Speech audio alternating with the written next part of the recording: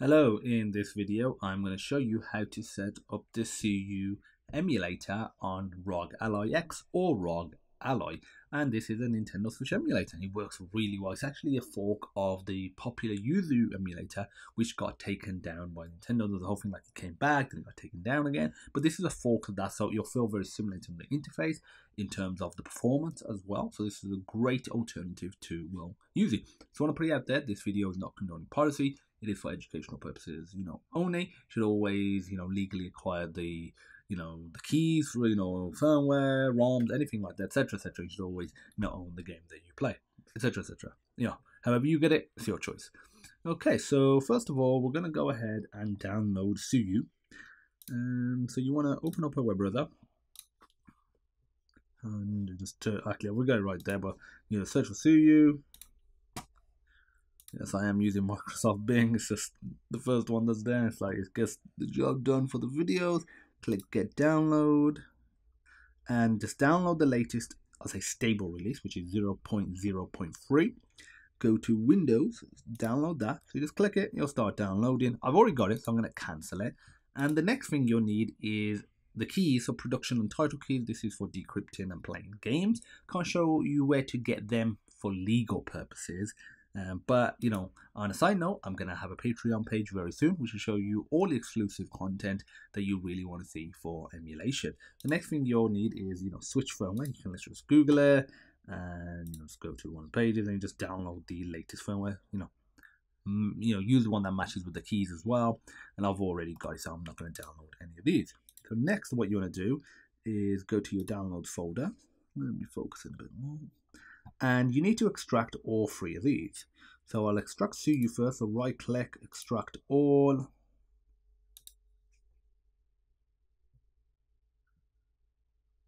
Okay, next we're going to extract the firmware.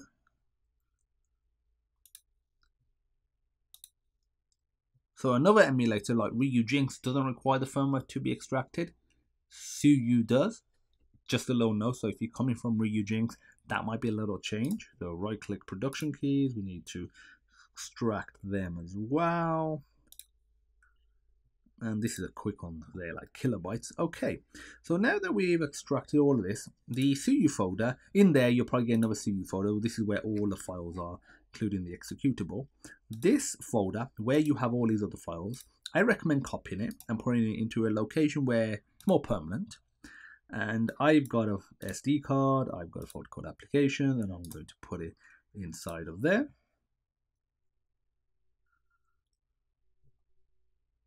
Okay. I'm going to rename this. This is just optional, but I don't like this called Suyu and then like Windows dash min, uh, you know, GW and then, you know, like the version. I just want to literally just put Suyu there to use the keypad, I'm going to get rid of all of it. Type in Suyu with a capital. There we go. And so the one in downloads, we can actually delete now. So we can delete this one, I'll just select it and this. We can delete these. And now what we want to do, go back to our folder where we put it.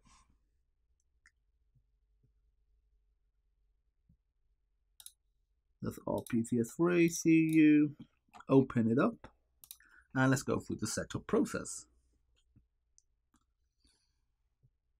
Okay, so it says encryption keys are missing. That's fine. We're going to install them now. So you go to Tools, install decryption keys. And for me, again, it's in the Downloads folder. And then we go to Prod keys. And you'll notice that if I go back, to downloads. And go to there's two keys. You don't need to you'll only show you prod keys that's fine. You'll you know install both of them. So you just select that. We're successfully installed. Now go to tools install firmware. And now same thing just select the firmware folder click select folder. Doesn't take long it's a matter of seconds. It's almost done. Boom. Okay the next thing i want to do is just show you the settings. So you want to go to emulation configure here, um, you know, again, feel free to have a look at these like hotkeys UI. All this we're leaving as, as it is. System, recommend changing it to your language. So for me, it will be English or you know British English as they'll call it, even though that's the original.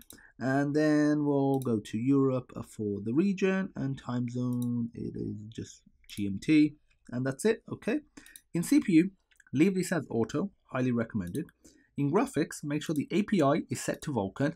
If some games aren't working very well, feel free to try OpenGL. You don't do no because that'll just end up doing software rendering. You definitely don't want to do that. If you have multiple graphics cards, select it here. But obviously, ROG Ally X, unless you got an external one, you you know you don't need to select that. Everything else leave as you know default. And uh, in audio, you just leave that as it is. Controls, here we can map our controls. Okay, so to map them, you want to, over here, let me focus. There'll be two buttons. The bottom one, you open up the command center and control mode set that to gamepad. You want to do that when configuring the, you know, the controller. You also want to do that when you're playing the game. You can set it to auto or desktop so you can actually use this as like a mouse. Otherwise, if I show you, I can use this as, you know, a mouse. But in gamepad mode, I can't. That's just a little caveat. So you either need to use an external mouse or your you know thumb finger to navigate. So let's say if I want to override the D-pad, I want to change that to right. Where is it? Oh, that did not work. Because, yeah, so okay, first thing, select Pro Controller from these, unless you are specifically selecting, selecting something like GameCube for a specific game you want to select your controller, which will be Xbox One controller. That's what the ROG Ally will appear as. If you have an, another controller, let's say an Xbox, you'll probably appear as like Xbox One controller 1. So just bear that in mind. Select that. And let's say if I go to D-pad, now press right. There you go. It's gone right. If I press X, it's button 0. There we go. That was actually A not X, I'm doing X in terms of the PlayStation. There we go. There we can leave that as it is. Feel free to you know configure all the controls, and you can also see the analog sticks moving as well. And that's it. So you can change it if you want it different for docked and handheld. Feel free to you know experiment with that. You can also and make sure you know Connect controller is connected as well, you know is selected as well. You can you know save a profile, so you can click new, tap on the profile, save it, and you can delete them as well. On the graphing Graphic profile, you can have different ones for different users, different games. And that's pretty much it. And actually, before we you know continue, I want to throw in some extra tips in this video, and that is how to get the best performance out of Suyu, because uh, you know that's what you want. So I always recommend try it in default the games you want to play. If they work, great. If not, here's some tips to get the best performance. In graphics, you know, make sure Vulkan is selected, but when you go to resolution, go down and select 0.5.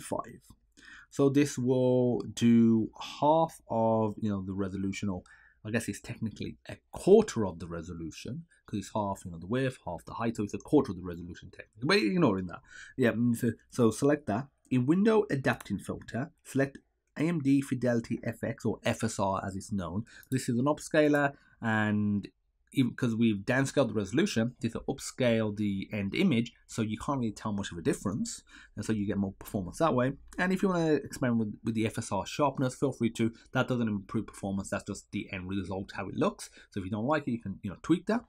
And next thing, the okay, the last thing that we want to do isn't actually even in this game. I mean, even in the emulator, you want to. So if you out of the right buttons, press the bottom one this will open up, uh, what's it called again, the Armoury crate. And in here, we want to be able to select the graphics memory. So uh, if I go lay load up, go to settings, and you want to go to performance, go to GPU settings, and here, memory assigned to GPU. It might be set to like something like 4, click auto, but just bear in mind when you change it, it will ask you to restart your device. But yeah, select auto, and this is just a good tip regardless of you know what gaming you are doing. This will improve your performance. So that's just a little tip, you know, to have. So yeah, do that, and we're pretty much ready to you know go uh, to you know show your games. Let me just focus. You double click on the screen, select the folder where your games are. For me, it's on the SD card, ROMs, switch, and here we go. Click select, and here we go. So we can right click, we can check the save data location, we can go properties. And this is pretty cool. We can change the configuration for you know on a per game basis. So you know we can you know right click, we can do the start game without custom configuration or with it. For now, this all just the same configuration. So I'm going to click start.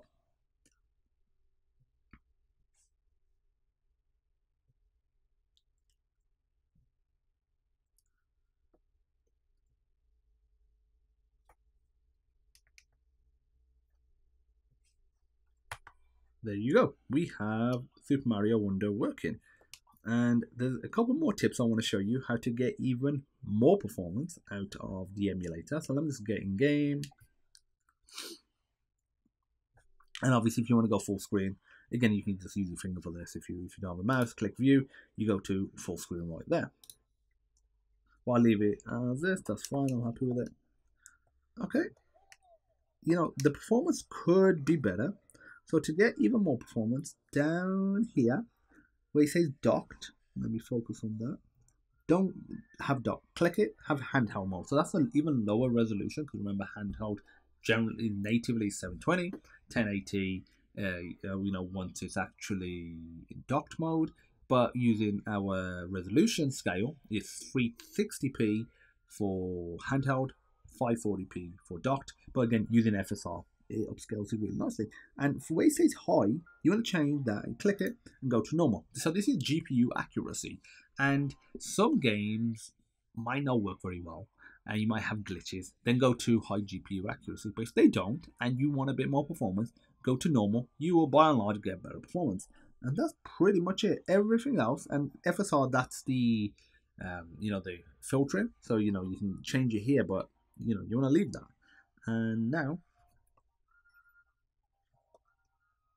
you will get the odd frame drop, you know, I'm getting some here, but by and large, you will get a lot smoother frames, you know, than you would otherwise.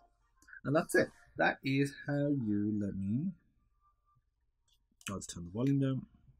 That is how you set up the Suyu emulator on your ROG Ally and ROG Ally X and how to get the best performance out of it as well. So that's it. If you like this video, give it a thumbs up, hit that subscribe button.